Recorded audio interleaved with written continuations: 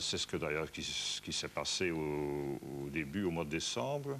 Euh, et de là, on a dit que probablement on aurait euh, vu quelque chose. Quand je dis quelque chose, c'était dans des conditions météo euh, qui donnent beaucoup de fausses échos. Et il faut aussi dire que les opérateurs n'ont pas l'habitude de travailler avec une image pareille. Donc, ils, travaillent toujours sur une image filtrée. Et finalement, euh, ils ne savent pas exactement ce qui se passe quand on laisse entrer les informations comme maintenant. Donc, ils n'ont peut-être pas bien interprété l'image. Euh, donc, on ne peut pas euh, conclure qu'on a observé euh, des ovnis. Oui, Monsieur Brennick.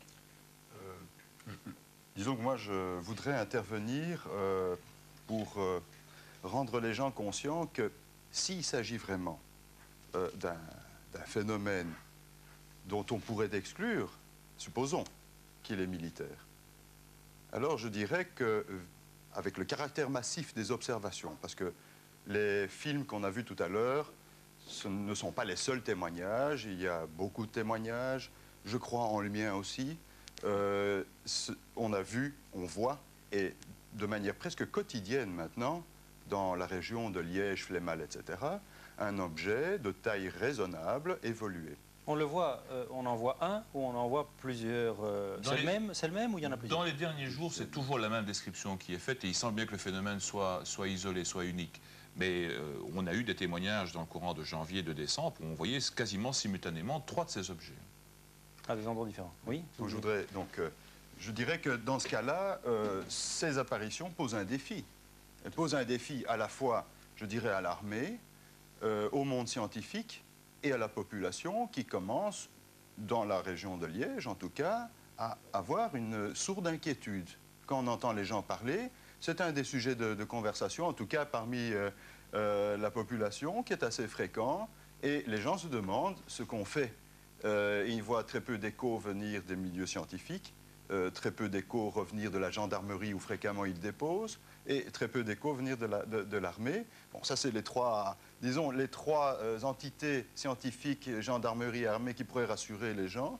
Donc il ce défi-là doit être relevé, je dirais, parce que euh, si par exemple l'armée considère qu'il y a là un objet qui vole sans apparemment autorisation de, de fréquenter l'espace aérien, c'est un défi. Pour les scientifiques, le mode de propagation de cet objet que moi j'ai vu, disons, et à n'en pas douter, ou euh, disons, euh, en tout cas, euh, faisant peu de doute, j'ai vu là un type de trajectoire qui, pour moi, pose un défi aussi du point de vue physique. Alors, je crois qu'il faudrait, dans ce cas-là, pour une fois, faire une action modèle. On a la chance d'avoir ici un, phénomène dont, je, pour moi, je ne ferai pas d'hypothèse parce que il n'y en a aucune qui, pour l'instant, me satisfait. Euh, on a la chance d'avoir un phénomène qui est facile à observer. Parce qu'il suffit d'aller se poster dans la région de Flémal, euh, de Bierzet ou de, de, Hawaii, disons, pendant 3-4 jours, et on est sûr de l'observer. Il, pa- il passe par des, points qui sont presque, euh, disons, reproductibles. Euh, il y a des trajectoires très fréquentées comme ça.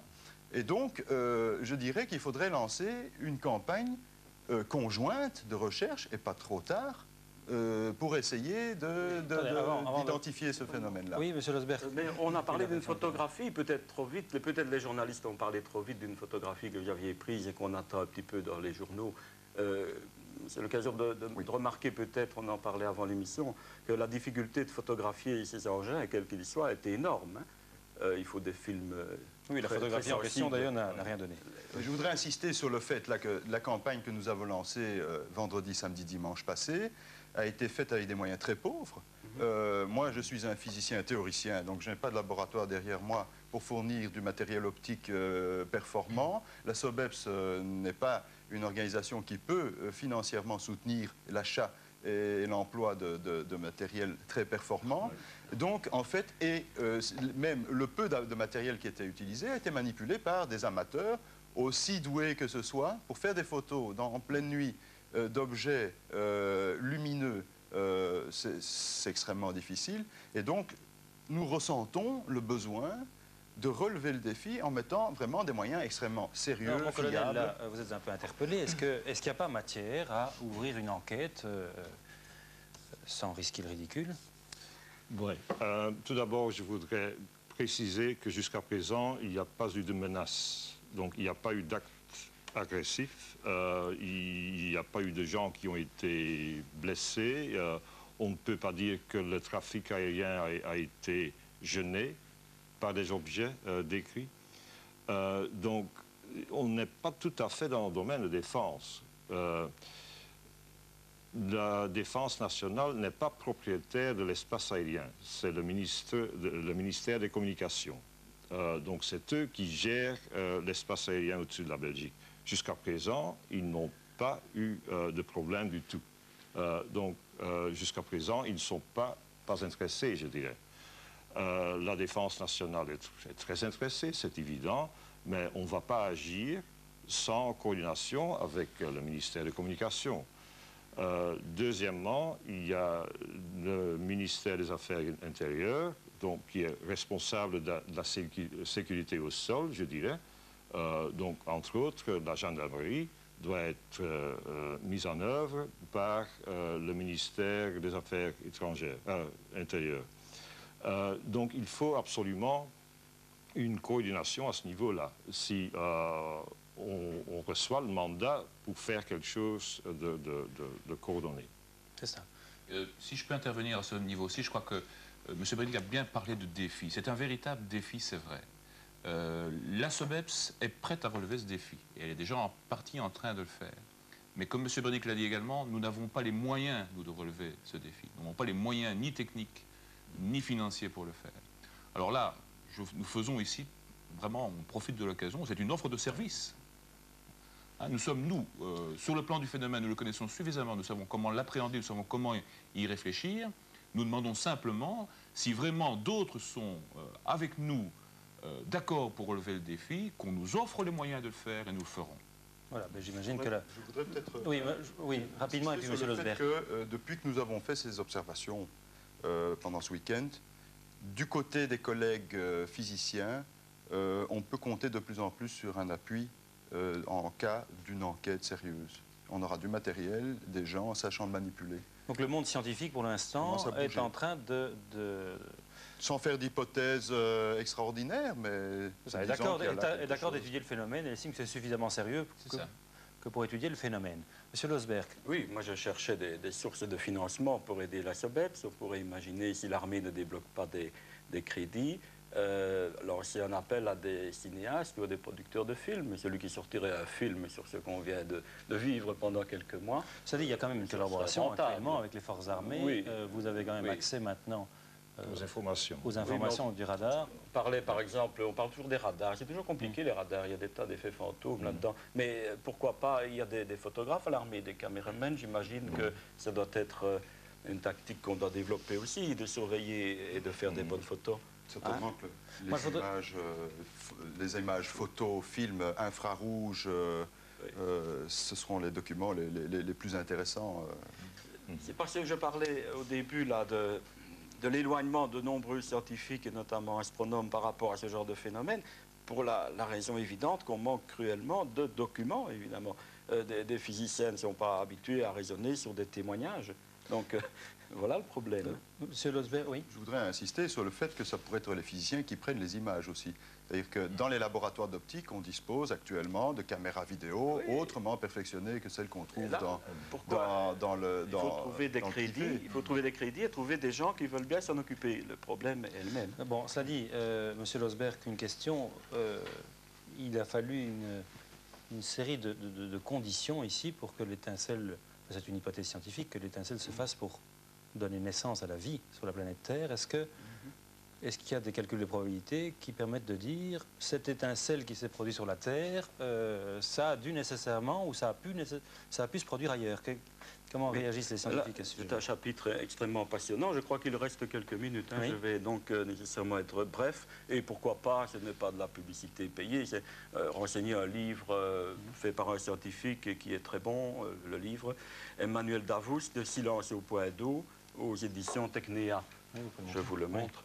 Voilà, alors Euh, sur cette a- hypothèse. bon, Et on parle maintenant, enfin, je vais dire des extraterrestres. Euh, C'est quand même le, le plus amusant, finalement. hein. Euh, Si c'est pas l'armée, si c'est pas des civils qui jouent, ou une firme pharmaceutique qui essaie de vendre des calmants en affolant, euh, voilà un mobile possible. Euh, eh bien, alors, ce sont des extraterrestres. Quelle est la probabilité qu'il y ait de la vie ailleurs que sur la Terre? On n'en sait strictement euh, rien, sinon euh, que le processus d'évolution qui a formé euh, les étoiles et les planètes a réussi une fois au moins euh, à créer de la vie. Nous sommes là, hein, c'est la seule preuve évidente qu'il y a de la vie dans l'univers, c'est nous. hein. Et y en a-t-il ailleurs? Et à partir du moment où il y en aurait ailleurs, le problème de communication est à la fois simple et compliqué. Si une autre civilisation est plus avancée que nous, en extrapolant les moyens actuels, on peut lancer des signaux, hein, des messages, et on peut voyager. On a le temps, à l'échelle astronomique, en, en- en 100 millions d'années, on va loin, hein, même avec des véhicules qui vont, plus vite, euh, qui vont moins vite que la lumière. Pardon. Vous parliez de la question du grand silence aussi en disant Oui. s'il existe quelque chose ailleurs, Oui. euh, pourquoi est-ce qu'ils ne viennent pas nous le dire? Voilà, c'est un, un paradoxe qui, qui a été euh, énoncé par les scientifiques. Certains avaient fait des calculs assez favorables sur les probabilités. Quelle est la probabilité qu'une étoile soit une bonne étoile pour la vie, c'est-à-dire pas trop chaude, pas trop froide, un peu comme notre Soleil? Quelle est la probabilité pour qu'une planète euh, soit bien mise, pas trop près, pas trop loin? Euh, nou- Nouvelle probabilité, une chance sur autant. Quelle est la probabilité que cette planète ait une croûte solide et une atmosphère autour, avec si possible de l'oxygène à un moment donné. Donc vous voyez, chaque fois, une chance sur autant d'avoir les conditions requises pour la vie. Ça fait une chance finalement euh, sur, je, je ne peux pas citer de chiffres, sur un nombre extraordinaire de, Alors, de euh, possibilités. Et, et puis on multiplie par le nombre euh, très très grand d'étoiles, euh, de- hein, des situations où la nature a pu jouer comme ça à créer de et la alors, vie. vous en arrivez à quelle conclusion? Eh bien, c'est au moins un, c'est-à-dire nous, mais on, on ne sait pas conclure. Euh, Je vous ai dit, il y a une commission de l'UAI qui s'est créée. Il y a 30 ans qu'on essaie de détecter des signaux. Donc probabilité existe, mais euh, Euh, c'est- avec quelle intensité, on ne sait pas. Je le laisse Oui. très rapidement, parce qu'il Oui. nous reste un peu plus d'une Oui. minute trente. Euh, D'abord, M. Brennick. si on puis- faisait un calcul de probabilité, effectivement, on arriverait à une, à une assez grande probabilité, c'est ça que vous vouliez dire. Or, on n'observe rien comme euh, contact venant de- d'extraterrestres. On exemple. peut imaginer aussi qu'ils raisonnent comme des physiciens. C'est-à-dire qu'ils essayent d'observer euh, nous, par exemple, un objet qui est nous, en essayant de le perturber le moins possible. Voilà. Parce que euh, donc, euh, ça pourrait modifier l'objet qu'on cherche à observer. C'est ça. Alors maintenant, M. Bougard, très rapidement, vous souhaitiez dire encore quelque chose? Mais oui, je voulais simplement dire qu'effectivement, on a peut-être là l'opportunité d'avoir enfin des renseignements et des informations hein, d'une éventuelle visite. Je crois que l'occasion est rêvée et si on la loupe, il y en a beaucoup qui vont s'en mordre les doigts. Alors, ce que j'ai dit tantôt, je le répète, parce que je crois que vraiment l'occasion est, trop belle. Euh, nous avons là une occasion unique de connaître vraiment, enfin, ce qu'est peut-être le phénomène OVNI. Et vraiment, je renvoie la balle euh, au service officiel, au ministère en particulier, en disant, bon, voilà, que peuvent-ils nous apporter d'autre que des informations? Nous avons besoin de moyens, ces moyens, nous les réclamons. Voilà, bon, l'appel est lancé. Colonel, vous, vous reproduirez peut-être cet appel auprès euh, de votre ministre. Je crois que de toute façon, il y a quelque chose d'intéressant à examiner euh, pour l'instant. Merci d'avoir euh, suivi ce débat qui est loin d'être clos, ce qui le rend d'ailleurs tout à fait passionnant. Merci d'avoir été avec nous aussi, messieurs. Bon après-midi, au revoir.